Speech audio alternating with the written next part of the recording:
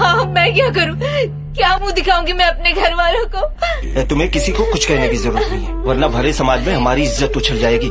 हमारे साथ जो धोखा हुआ उसका क्या करे?